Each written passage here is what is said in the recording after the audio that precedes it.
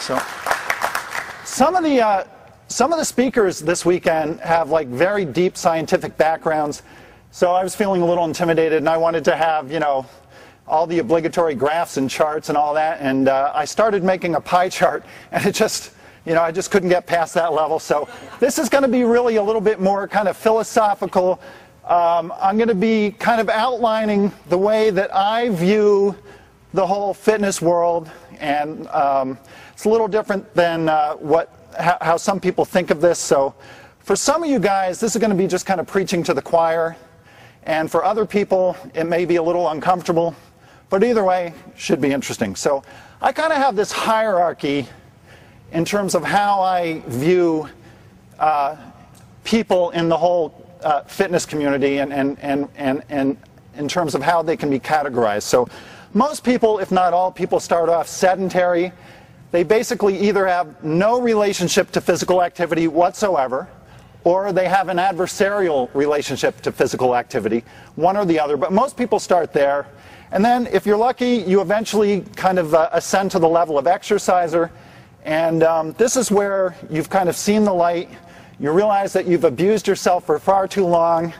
And uh, this is where life really starts to suck because now you realize that you know you have some atonement to do. Okay, so uh, can you tell I have a degree in sociology? So the thrust of my talk here today is to get people to think a little less like an exerciser and a little bit more like an athlete. And then toward the end of the talk, I want to actually encourage you to actually be a competitive athlete because I think that's how you get the best results from, from your activities. Okay? All right, so here's the lowest run. No relationship to physical activity at all. By the way, it's only been recently in human history that being sedentary was even an option, right? Because throughout the, the vast bulk of human existence, you had to be rigorously active just to survive. Uh, so this has only been a recent thing that you've even had that, that choice. And that, that's where the term survival of the fittest comes from. Okay? But uh, over time, of course, uh, you know, the negative consequences of your behaviors will eventually eclipse the, the benefits. And uh, that's where we get into the exercise thing. Now, by the way, there's this thing that I call the unhappy triad, which is like you're laying on the couch watching TV, and then you see the uh, fast food commercial, and then the fridge is only 10 feet away, and then you end up like this, and now you have no energy, and now you're back on the couch, and it's just like this vicious circle that feeds on each other. You know, the couch, the fridge, and the TV, bad combination. All right, now, as a couch potato or as a sedentary person, your relationship to food is exactly opposite of your relationship to activity. All food is good, you never saw food you didn't like. So, in terms of thermodynamics, you're just kind of living this life that's all about, you know, trying to, uh, you know, it's calories in, calories out. And uh, as an exerciser, well, actually, in, in this stage, your, your philosophy is kind of like no pain, all gain. You're, you're avoiding physical activity, and your, your expenditure is minimized and your intake is, is maximized. Okay? Um, the lucky few uh, eventually make it to the level of what I would call exerciser, and this is where you know if you decide, okay, now starting Monday, and by the way, that's the that's the sure sign that you're on the cusp between couch potato and exerciser is that when you say starting Monday, which is the surest sign that you are not serious. Because if it's worth doing, you're just going to do it right now. But um, now you decide, you know, you basically are telling everybody that, you know, you you, want to improve your health, and so you're going to start dieting and exercising. Really, you just want to look better, but you tell people that it's, that it's about health. Okay? So, here we go. Calories in, calories out.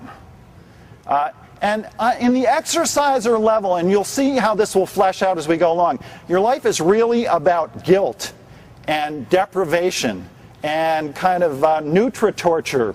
And uh, so it's, it's almost like an atonement kind of situation where you have to make up for, for past sins by uh, hurting yourself through exercise. And this is where you pick up the no pain, no gain thing. All right? And this I, am a little torn about no pain, no gain because there's a kernel of truth in no pain, no gain. When you're getting out of your comfort zone at whatever level you, you happen to be at, there's going to be some pain, there's going to be some discomfort.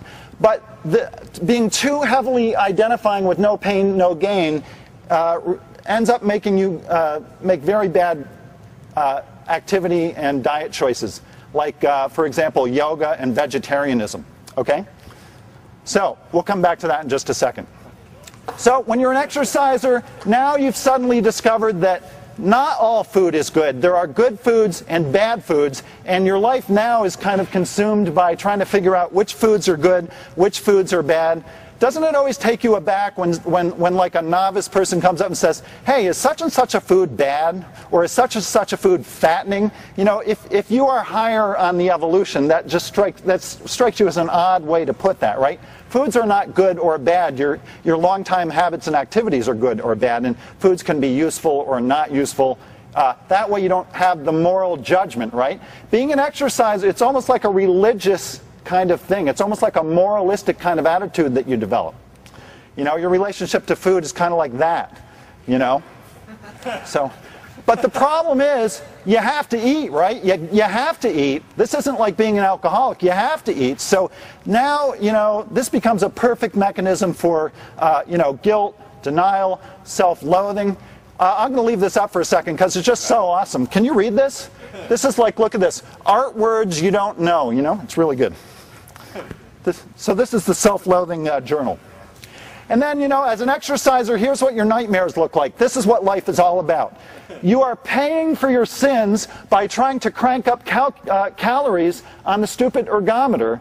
And, you know, you take a perfectly good activity like walking, and then you make it suck by being on a treadmill, and all the numbers are wrong anyway, and anybody who's been in this industry for any period of time know this is total BS. And this is the, the, the least effective way to get to your goals. And uh, everybody, I mean, look, all you guys are involved in physical activity, right? Whether you call it exercising or working out or training. When I say the word exercise, do you have a viscerally, do you have a, a, a negative or a positive like feeling about the word exercise? It's negative, right? I mean, John, do you, you know, do you exercise? You train, you know? Right. All right. So if you need to atone for your sins, you should go to church. Right? And I mean, I'm agnostic, but I'm just saying that makes more sense than doing it on the treadmill. All right, so now you're at war with your body, and you know, um, you start looking at solutions like, you know, Alli. And this is a crappy solution, I just got to tell you, in terms of solving your problems. It's just not a good idea at all. And your level of maturity is very low. You want your cake and you want to be able to eat it too. So look at this. This is marketing for exercisers. Eat what you like, when you like. So, you know, when you see Cassandra Forsythe's talk about carb intake later, among other things, they're like, no, no, no. What I think I will do is I'll just eat the processed carbs anyway, but then I could take this. Funny story, I have a, a friend locally who is a, a big time marketing guru. And we were having breakfast one time. He says, Charles, you know, you know how they always say, like, the magic pill? He goes, how come nobody's actually made the magic pill? Like, how come nobody has come up with a product that's called the magic pill? uh, to my knowledge, I've never seen it. Maybe, maybe I'm wrong. So.